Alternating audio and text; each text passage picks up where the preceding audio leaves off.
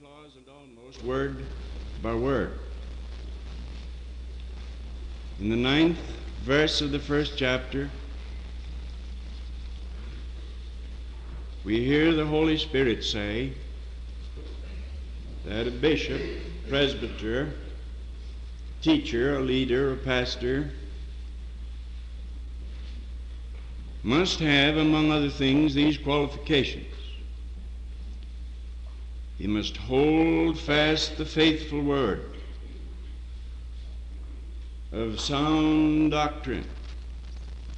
We want to talk about that today. Now, among the qualifications for Christian leaders, this is one that he may hold fast the word of sound doctrine so he can do three things teach the teachable, correct the mistaken, and silence the false teachers. These three things are mentioned here. That he can teach those who are teachable, you can't teach any other kind. That he can correct those who are teachable but mistaken. And then that he can squelch the gainsayers convince them, at any rate, those who are contentious and argumentative and take positions which are not tenable according to the Scriptures. Now, Christ and the apostles and the church fathers held that there is a fountain out of which truth proceeds. This was part of the teaching of Christ. This was taken up by the apostles and was taught by them. The same Holy Spirit teaching them as taught the church fathers later that there is a fountain out of which all truth proceeds. So that Christ and his church are not searching for truth they have found it.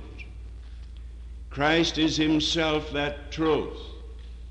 I suppose that there is scarcely anything a man may set himself to do or claim for himself that is any more comforting to his carnal ego than to imagine himself as a searcher for truth. I have talked to many intelligent people, otherwise intelligent, who assured me that they were seekers after truth. But I want you to hear that Christ was not a seeker after truth. Christ was the truth. Christ is the truth, and his apostles were not seekers after truth. Neither did the church fathers claim to be. They, of course, searched in the truth that they might know more of the truth. But the idea that they did not know where the truth was found, but that they were out searching up and down the universe, throughout all the corridors of possible human thought, that they might locate the truth, that is a pagan concept and is not Christian and was never uttered by Christ. Not one such idea ever entered the mind of an apostle. And the church fathers, so far as they held by the truth, never uttered any such ideas. They believed that there is a criterion against which all ideas are to be judged. That there is not, as some believe, a relativity of truth, but that there is an absoluteness of truth. Some truth, of course, may be pragmatic and relative, the truths that are down here in this world, the truths between men and men, the truths among nations. Uh, but the Christian truth is not a relative thing nor a pragmatic thing.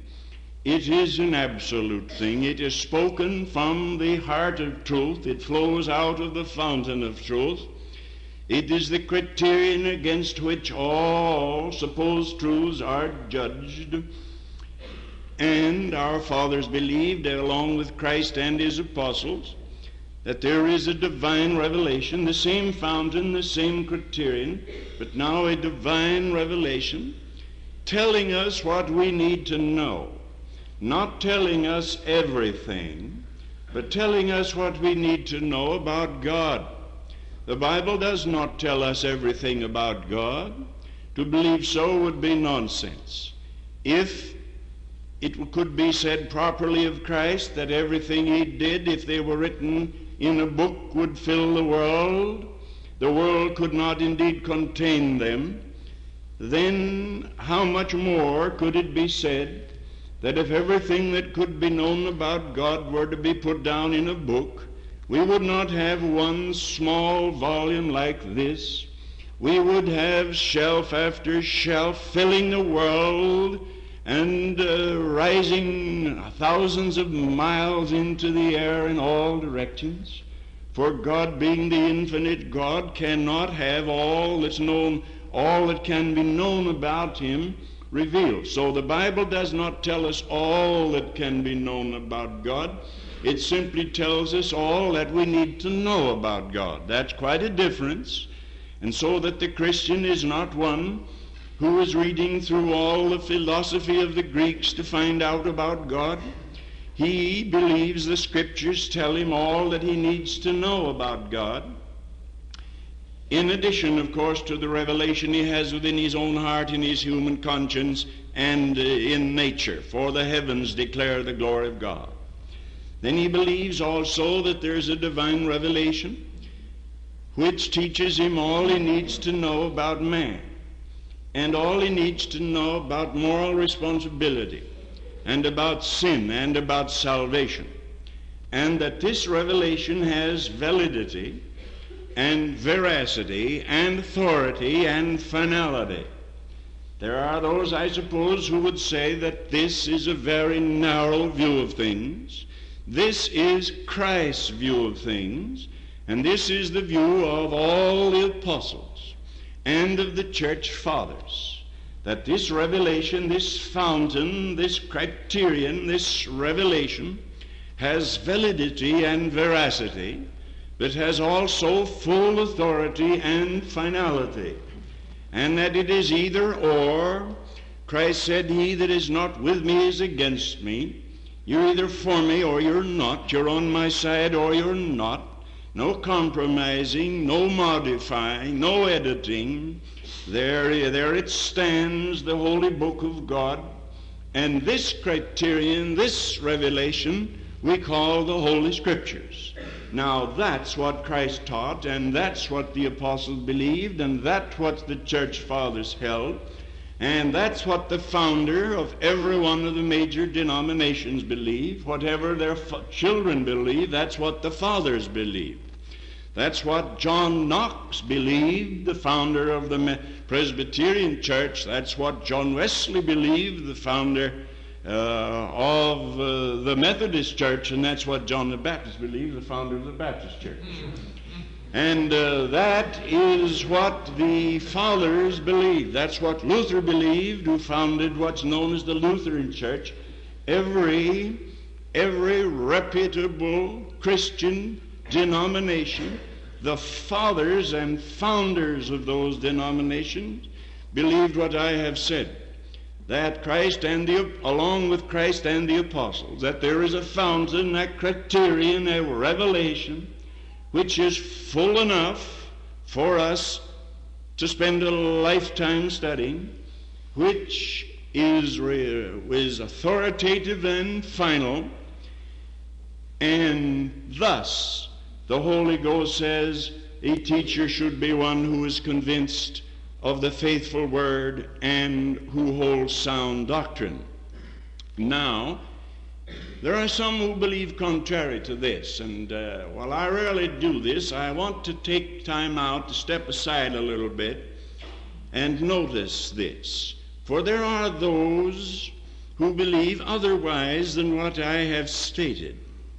And if they do so believe, this is their right, as free moral agents, they have a perfect right to believe what they want to believe if they're willing to pay the price and take the consequences. For not all men have faith, said Paul. Therefore, we not, we're not to be indignant because not all men have faith, just as not all men have sight, and not all men have hearing. But faith that is mere conformity is not faith at all. The faith of our fathers is not uh, an operative, uh, efficacious faith until it becomes the faith of their sons. Merely to believe something because you were brought up in a church that believes it is to indicate that you are taking your belief secondhand and borrowing your convictions. Borrowed convictions never mean anything to any man. I believe I'll step further aside, if you can step aside from where you've stepped aside, and say that the problem and trouble with America today is that so many good Americans take their democracy for granted and they have borrowed their conceptions, they've not thought them through, and the result is they're victims of whatever winds of doctrine may blow from Moscow or somewhere else. Borrowed convictions and ideas that are inherited are of no value whatsoever. I believe in the faith of our fathers but I'll not rest until the faith of my fathers becomes the faith of their son. And when the faith of the fathers becomes the faith of their children, then their children will have the same power and position and hold the same position as they. I say I do not believe in enforced faith. We should set the truth before men and we should show them that faith is impossible to pride, and that there must be penitence before there can be faith. And we should warn them of the consequences of impenitence. Then we should leave them to their God and their conscience.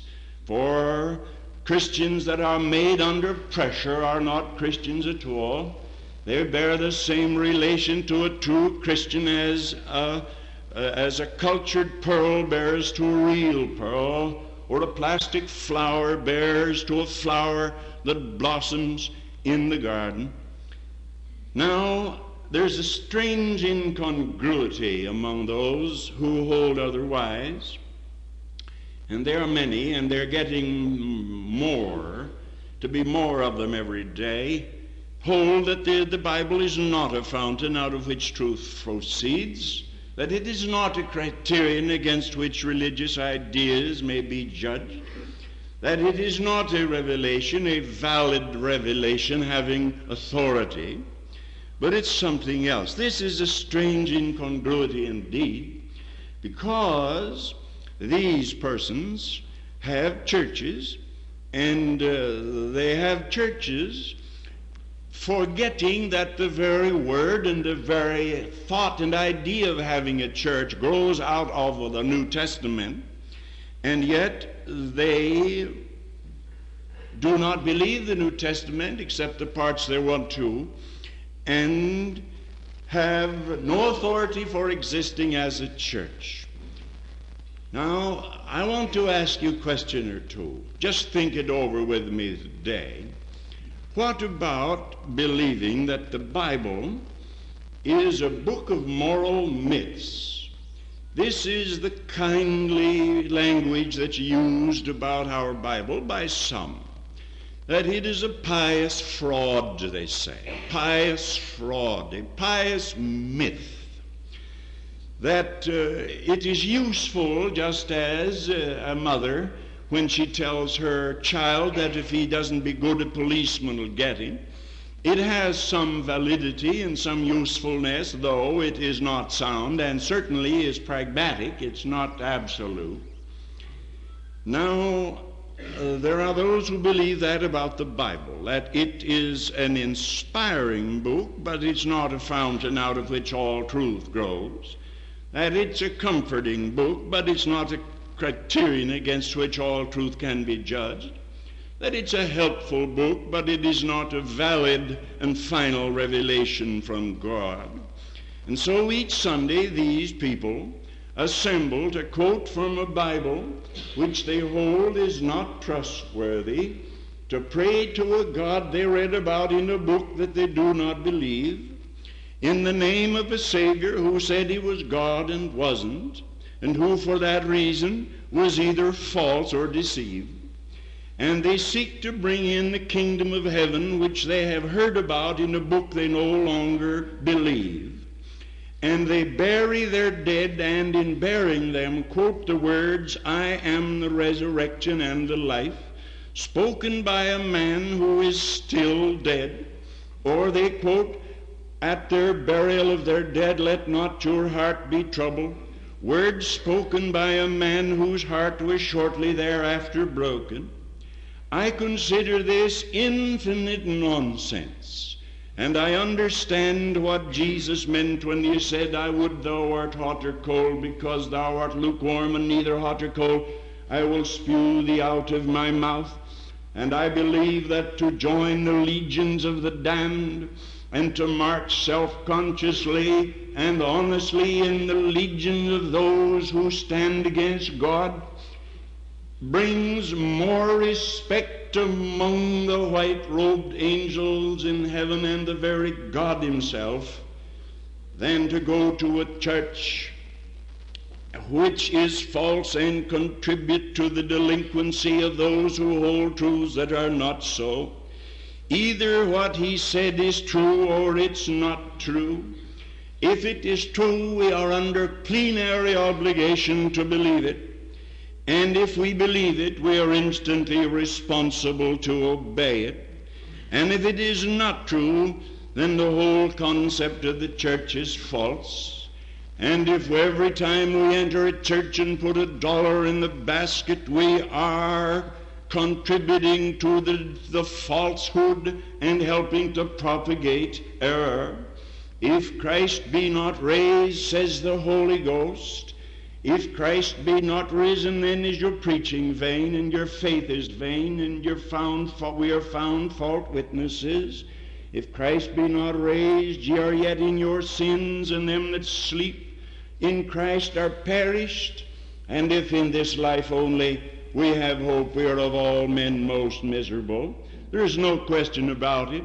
Salty old agnostic Henry Mencken said years ago that there's no question about it. If the Bible is true, the fundamentalists are right. He wasn't a fundamentalist. He said there was never anything written by any fundamentalist that he liked except, uh, uh, except the, the, the colored poem on creation. But he said, nevertheless, we'll all have to admit either the Bible's true or it isn't. If it isn't, then anybody can be right. If it is, then the Orthodox people are right.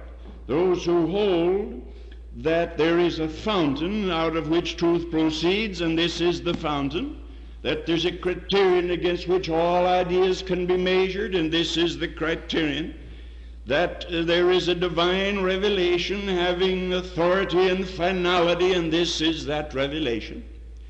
Now, that's what a great unbeliever said, who was a salty, downright, honest man, though an unbeliever. And I grant a man a right to be an unbeliever. But I cannot find it in my heart, I cannot find any wells of charity deep enough within me to enable me to respect a man who will go to a church which is supposed to have been founded by Christ and at the same time not believe in the deity of the Christ who founded that church, who follow slavishly along in a weakened and watered down tradition of a Bible which they do not hold to be the Word of God. I say again, I would rather boldly lay my Bible down and walk out into the sunshine breathe deeply and say, from here on I'm on my own, than weakly to hang around an organization whose Christ is not Christ and whose God is not God and whose Bible is not valid and whose doctrines are not sound and whose faith is not true. I say it's infinite nonsense and it ought to be known for what it is. I've used a lot of ifs here, you notice, a lot of ifs.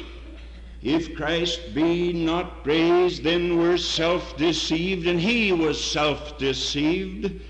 And we are fools indeed to seek comfort on the bosom of a psychopath, a man who had visions and dreamed dreams, but had no foundation under what he believed and what he dreamed.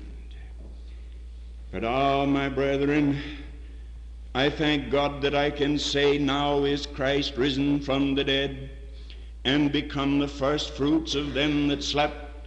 For as by man came death, by man also came the resurrection from the dead. And Jesus Christ our Lord, before he died, said, Destroy this temple, and in three days I will build it up again. And three days passed, and he raised it up again. And they said of him, God has made this same Jesus whom you've crucified, Lord and Christ. You and I are not looking for light, we're not searching for truth, but reverently and meekly we can say, Upon us has the light shined. All the birds and bees and toads and bugs and frogs and beasts and flowers and trees in the meadow yonder and in the forest and over the plain when the sun rises in the morning could, if they had intelligence, reverently say, Thank God the sun is risen. But they would take no credit for the sun. They would not beat their little chests and say, I am better than thou, for I have the sunlight. They didn't bring the sun up. They didn't create the sun. It was not because they were good or worthy that the sun shone. The sun shone because God made the sun to shine.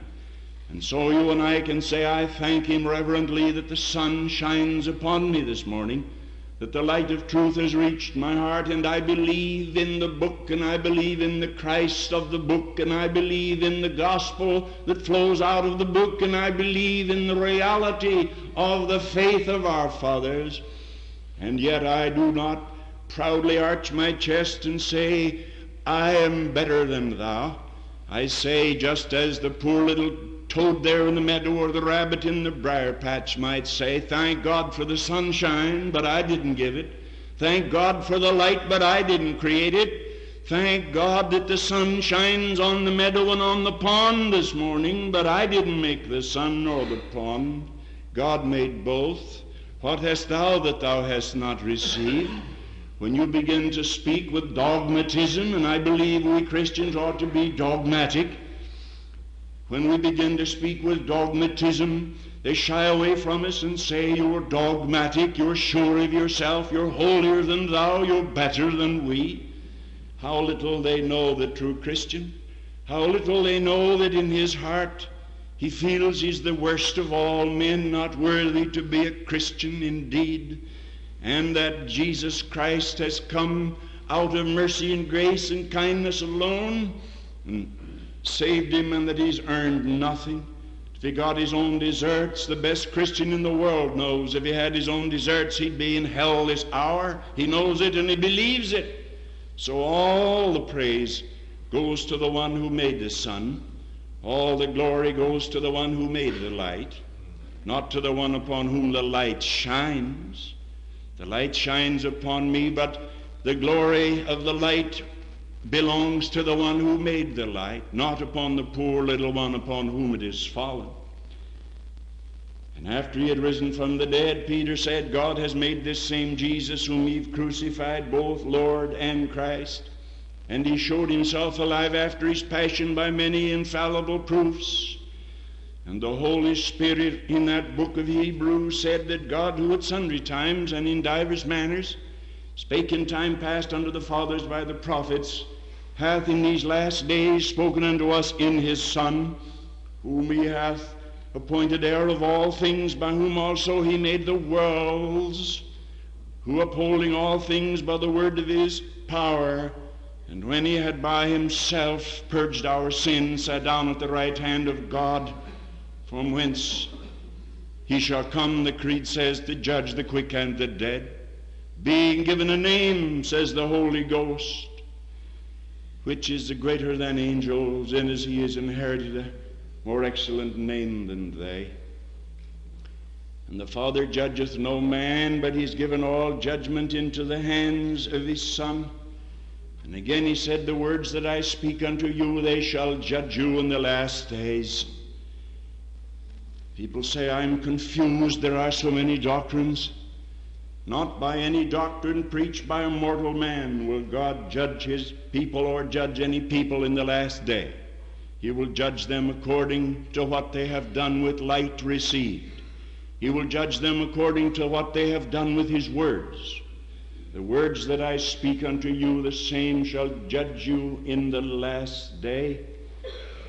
And then our Lord Jesus Christ laid this down on the line forever and forever and forever and said, If any man will do my will, he shall know of the doctrine, whether it be of God or whether I merely speak from myself. So he threw faith back upon morals and made it uh, a matter of conscience and a matter of penitence, a matter of, uh, of, of righteousness or sin, whether we believe or not. Those who do not believe, who say this is a comforting book, but it's false in spots, this is an inspiring book, but it's not true, what nonsense. That I am man made in the image of God, capable of judging right or wrong, that I should go to a comforter that can't comfort himself, that I should seek immortality from a man who couldn't get out of his own grave, that I should go for comfort to a man who was so badly mixed up he needed a psychiatrist, who believed he was God and wasn't, who believed he had come from God but was mistaken, who was a victim of his times and a child of his age, as our friends say, no, no, my brethren, now is Christ risen from the dead and has become the first fruits of them that slept. God has given into his hands all power in heaven and earth and under the earth. And in the day to come they will crown him with all crowns in heaven above and on earth beneath. And from the hot caverns of hell they'll drag some kind of crown and offer it in bitterness and self accusation to the man Christ Jesus who was born of the Virgin to die upon his Pilate and to rise again the third day. No, no, my Christian friend, you need not fear. My Christian brother, you need not worry about what the liberals say. You need not worry about what the radicals or what the cults say. This week I got a letter. I think I still have it here. I do. Pastor Tozer, Christian Missionary Alliance. And that letter said, Thank you for your preaching over the radio. I appreciate it so very much, and I see that you're seeking something. I am giving you some literature, and I respectfully ask that you read this literature and see if this isn't what you want. Enclosed a $5 check for your personal use. That was from a member of the Latter day Saints. I'm going to write the kindest letter that I am able to write and send back the check. I don't want to be supported by false teachers. And I'm going to say, I am not seeking anything only more of what I have. I am not searching for anything only to know my God better. That's all. I don't want to know yours. I am not seeking in a church or a false church that claims that Adam and Jesus Christ were gods. I am not seeking for truth in a black confines of a coal mine, but in the book of the Lord God. Not in the book of Mormon, but in the book of light. But I'm not going to be unkind. This is a kind woman, meaning well. But I don't want her money. And I don't know why she should ever enjoy my preaching. But anyway, if any man will do my will, he shall know of the doctrine. Let me say to any self appointed truth seekers who imagine themselves to be golden haired, noble, bright faced young people marching out into the world of thought looking for truth, let me tell you, you're deeply deceived and deluded. You're doing nothing of the kind. You're seeking to escape truth, not to find it. For truth is a hard master, and truth will not impart itself to sinners. Truth will not give itself to rebels. If any man is willing to know my will and to do my will, he shall know. And as soon as a man is ready to do God's will, the light flashes in on him, and his nose is converted, and everything is right with his soul. So, my dear friends, let us stop kidding ourselves. Let us stop worrying about the wisdom of the liberal. The wisdom of the liberal is a compound of incongruity and nonsense, too awful, too terrible to be understood by mortal man. Either he's God or he's not God. Either this book is God's book or it's not God's book. But for me, timidly, like a frightened mouse, to crawl along the edge between belief and unbelief in the little twilight zone of uncertainty is impossible for my nature. Either I'm for him or I'm against him. I'm on his side or I'm not. I believe his book or I don't. He did rise or he didn't. If he didn't, the whole thing's a hoax. If he did, the whole thing is a glorious sunburst of everlasting reality. And I believe that he did. So, my dear friends, take the book Believe the word. Accept the truth. Make put Jesus Christ before your eyes and keep him in focus. And as you obey him and believe him, light will grow on you. Then you can seek truth. Seek it within the book, but not outside the book. It is why I dare not add anything to the book. I dare not come here quoting Plato. I dare not come here, though I've read all that stuff. I still dare not come here teaching you that which was taught even by Epictetus, or by Marcus Aurelius, or by Hammurabi, or any of the great Hammurabi, or any of the great teachers. Not one of them do I dare teach. This is the book. This is the criterion. This is the fountain. This is the revelation standing tall and white and glorious and beautiful up out of that book is a man.